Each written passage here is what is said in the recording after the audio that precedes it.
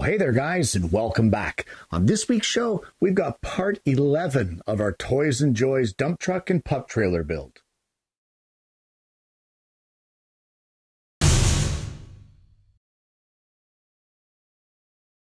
Well, on last week's show, we had just finished up with making some of the external pieces for the cab, and that's what we're going to carry on with today. I said I was going to add possibly some laser embellishments, and I couldn't resist. So let's head over to the bench and have a look at that. Well, I couldn't resist on putting some kind of embellishment on the side of the doors, and I ended up wanting to put the truck that I was building and then a little bit of a logo, maybe like a company kind of label. So that's what I ended up engraving on the side. It really adds an extra element to the build totally optional, guys. If you don't have a laser engraver, don't worry about it. You don't need this sort of thing to make an amazing looking model. But for me, I have the ability and I do love adding the laser embellishment. So there you go. There is the embellishment on the doors and it's on both the driver's and the passenger side. So the next thing we're going to do is we're going to turn our attention back again to sheet four of nine on the plans and we're going to start making this dash as well as the seats. So let's get that started. And for the dash, we're going to need a piece that is three quarters of an inch by 13 sixteenths by three and three quarters of an inch long. And we will just cut that over at the table saw from some scrap.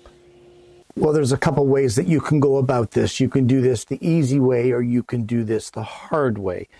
Guys, the easiest way to do this is to glue this onto a piece of a quarter inch thick MDF or hardboard and make a template.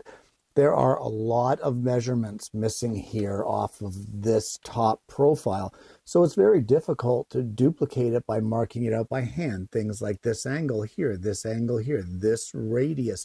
What is the difference from this tip up to this 3 16ths of an inch thick piece over here?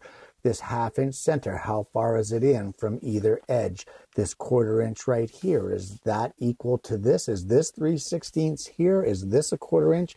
There's a lot of dimensions that could have been added here that aren't. So using the uh, original print, photocopying and making a marking template is the way to go here. However, three quarters of an inch, by 13 sixteenths. Well, here we have three quarters of an inch, and if I line up my blank, we can see that works just fine.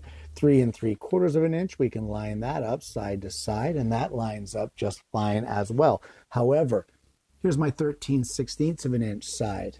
And if I line it up with the edge here, that is kind of on the short side.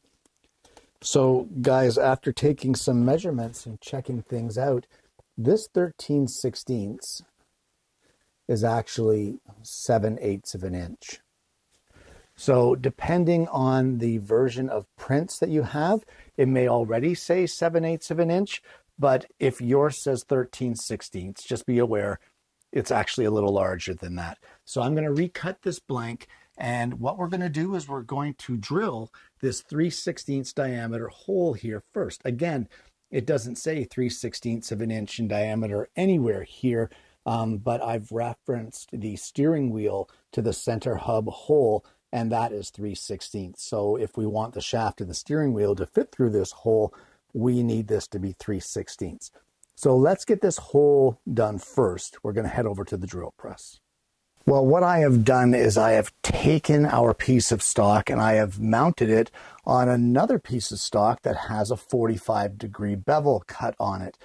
The plans show a 45 degree angle on this hole, this 3 16 diameter hole. So this is going to hold our stock at the proper angle for us to drill it. Now I've measured in on from one end at 7 eighths of an inch. That is the center point of our hole. But if we look here on the drawing and we extend both the baseline and the edge of our 3 16ths diameter hole, we can see here that the edge lines up with our corner of our stock. So all you need to do is measure in 3 30 seconds of an inch and put a center punch here. And at that point, we can drill our hole.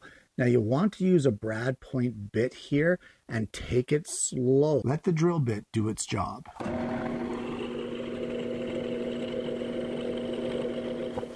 And there you go. That is step one of our dashboard. So let's just pop this off of here and we'll pull off this double-sided tape. We're not going to need that anymore.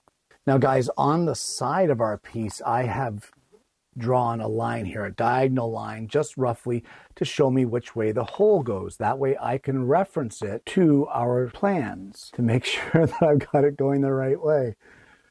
And even with that mark, I still managed to drill it incorrectly. I drilled on the wrong plane. That's okay. It happens.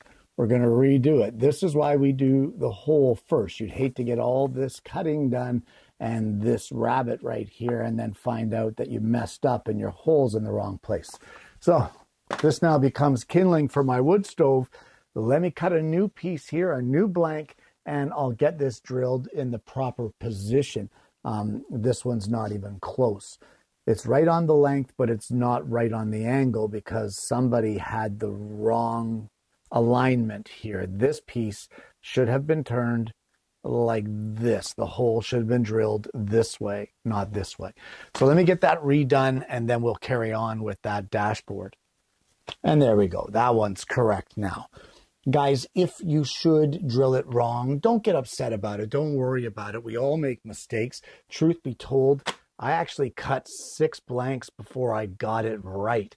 Um, one of them was the wrong dimension because the plans had a wrong dimension on it. I think that was this one. Uh, one of them has a flaw. I tried to cut it out of scrap and I didn't like the flaws, so I got rid of it. Another one had flaws. I didn't like it. And then I drilled the one incorrectly with you guys, and then I corrected my mistake and drilled the second one incorrectly. so no big deal. I've got some more kindling for the fire. And we have one here. Oh, by the way, guys, if you have a wood stove in your shop, um, you never ever make mistakes when it comes to your woodworking. At least there's no evidence of it. So we've got this piece here now with the properly sized and angled hole. And we now want to cut this rabbet right here. We're going to do this over at the table saw. It's just a simple straight rip cut. We're going to raise our blade to one quarter inch to cut this little shoulder here. And then we're going to raise the blade up this dimension right here, which would be 5 eighths of an inch. And we'll cut that shoulder. That will get that one piece right out of there. Okay, and there is our rabbet to form this section of the dashboard and we have our marking template. So for this, it's just a matter of lining it up on the top of our dashboard. This will be lining it up on the 7 eighths of an inch side. And once we get it lined up, we're going to trace our marking template. Now, first things first, guys, we're going to take this over to the belt sander and we're going to sand off these angles here at the top.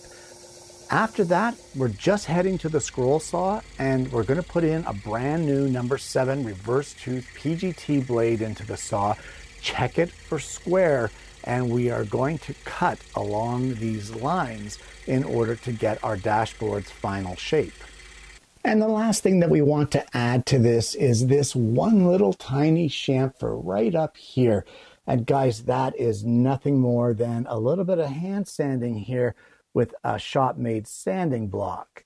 So we're just going to gently drag this back and forth. It doesn't have to be a huge chamfer, just a little one. So we're going to hand sand this in place and then we're going to do a dry fit with our dashboard. There we go. And a piece that looks relatively difficult on the plans is actually fairly easy uh, once you get the hole drilled in the right orientation.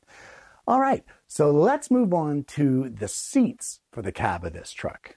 Well, the first pieces that we want to make will be the seat mounts. We need two of them, one inch by one inch by seven eighths of an inch. Guys, these are very simply cut over at the table saw um, using push blocks to get the one by one and then cutting them to length at seven eighths using our small parts cutting jig.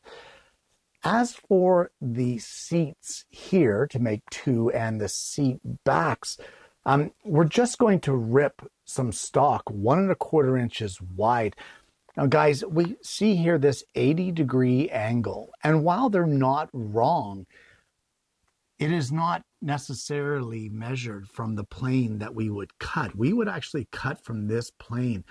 So we need to take a 90 degree angle, which would be zero in our case, and subtract this 80. That will give us 10 degrees. And that's what we will set our miter fence at in order to get the 10 degree angles here on our seat bottoms.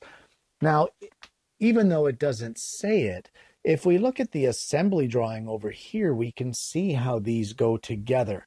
So if one of them is cut at 10 degrees, that means that the other one has to be cut at 10 degrees as well in order to make them mesh like this, the way that we need them to mesh to assemble these seats. However, there is a missing measurement. While the seat is listed at one and a quarter by one and one eighth, again, table saw cuts using either the small parts cutting jig uh, or longer pieces and your miter fence. The actual length of the seat back is not listed. Um, but I've measured it, scaled off the drawing, and that is one and three quarters. I've said it so many times here on this build, guys. These are your prints, mark them up. These corrections may have been made on other versions of the print, but if they're not on your print, put them on your print.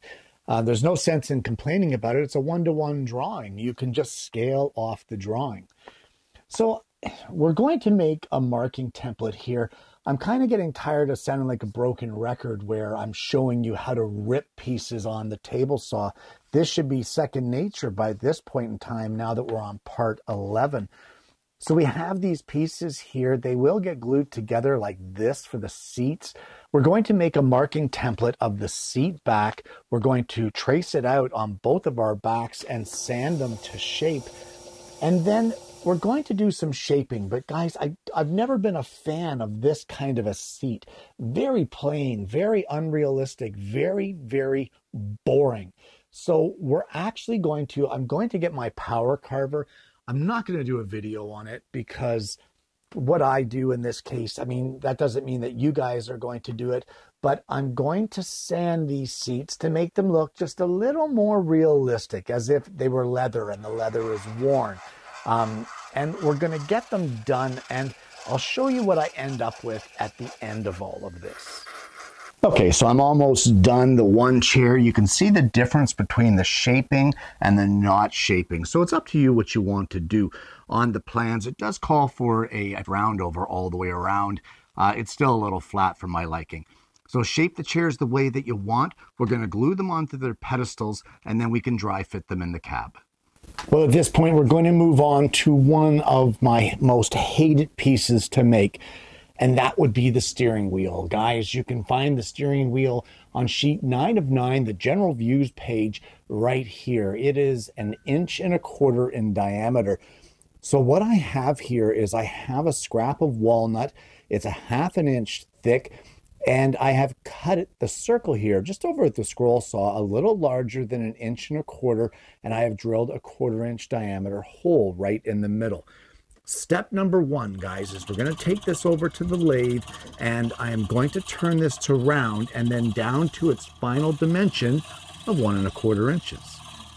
Well, the steering wheel is a quarter of an inch thick. So what we're going to do is on one side here, we're going to place, well, it'll be a mark in the middle because this is a half inch thick piece of stock. So we're just going to place a mark here at quarter inch and we can transfer that all the way around our blank. Okay, and that will be the thickness of our steering wheel. However, if we look at the drawing here, we can see that there is a hub right here on the back of the steering wheel. And that's the part that we're going to turn next. So I've changed up my bushings and put some smaller diameter ones here. And what I'm going to do is I'm going to use a parting tool. We're a little high on that tool rest. We're going to use a parting tool to take this back section down here to a diameter of 7 sixteenths of an inch, which is the diameter of that hub shown on the drawing. All right, and there is the basis or the beginning of our steering wheel. Now, what we want to do at this point is I want to round off these edges, and then we can move on from there.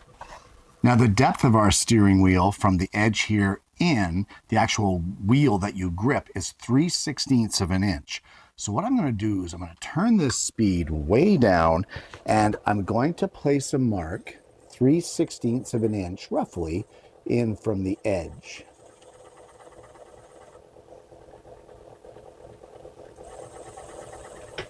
So with that mark done, we're going to do a little bit of shaping on the outside of our steering wheel. So we're just going to be very gentle about this. And I just want to get in here and kind of give it a little bit of a concave shaping. Not a lot, just a little.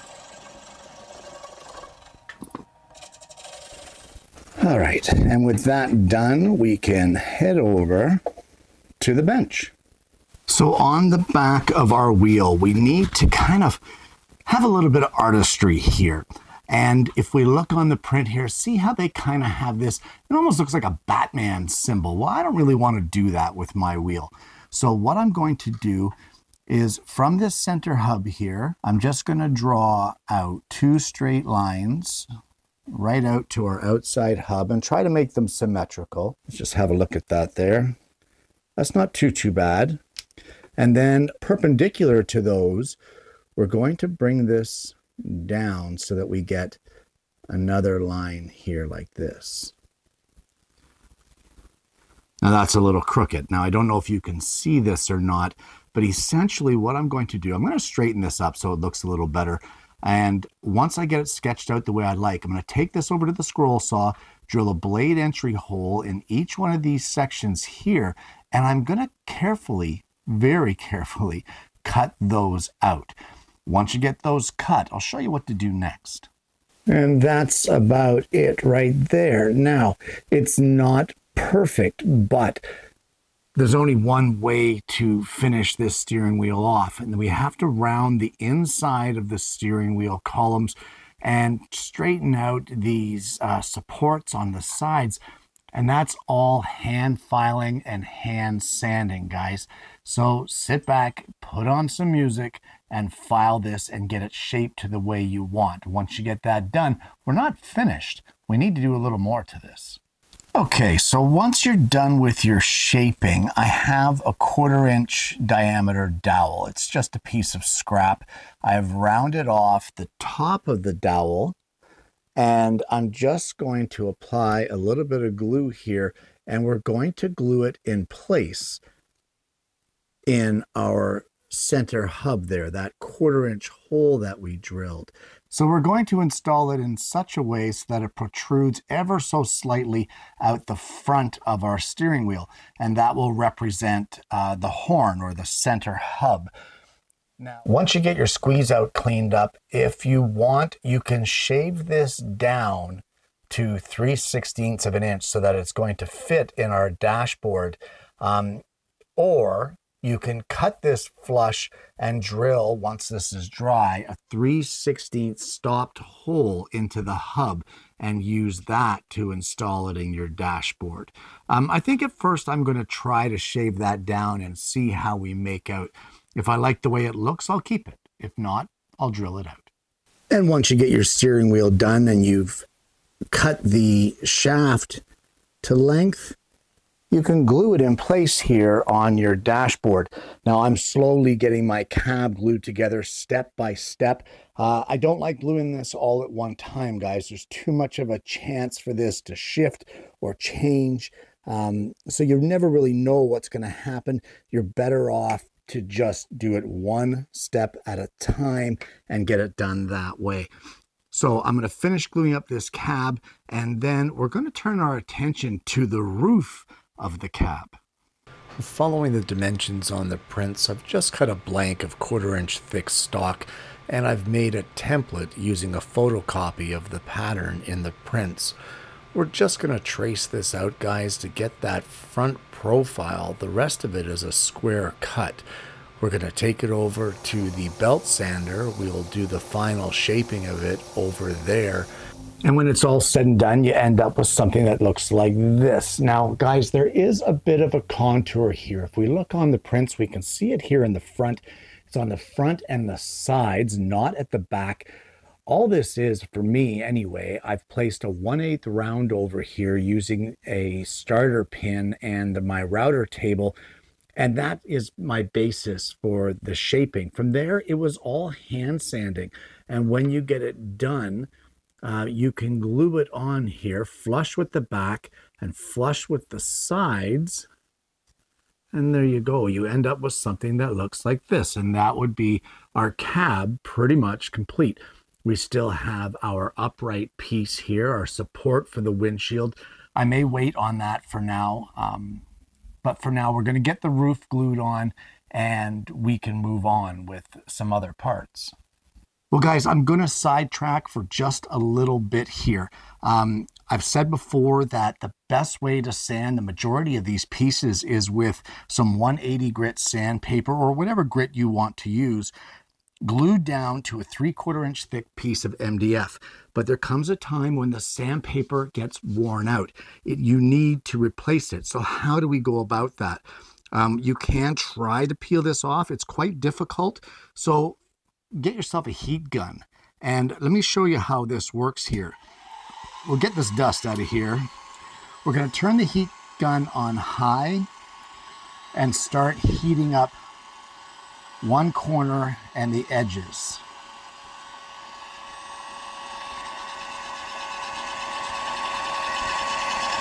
And once the glue starts getting hot, you'll see, I'm just holding this with two fingers. Once the glue starts heating up underneath, this sandpaper will peel right off.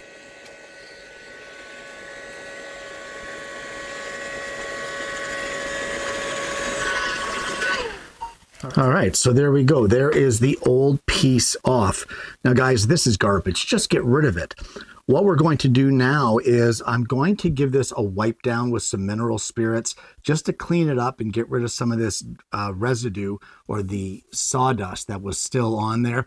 And then all I'm going to do is spray a piece of 180 grit sandpaper and glue it right back down. You don't have to wait the three minutes if you don't want to. Um, it's not necessary. It can help when it comes to removing it, but it's up to you. So let's get a fresh sheet glued on here and then we can carry on. Just a little extra tidbit of information, guys. And unfortunately, we have run out of time again on this week's show.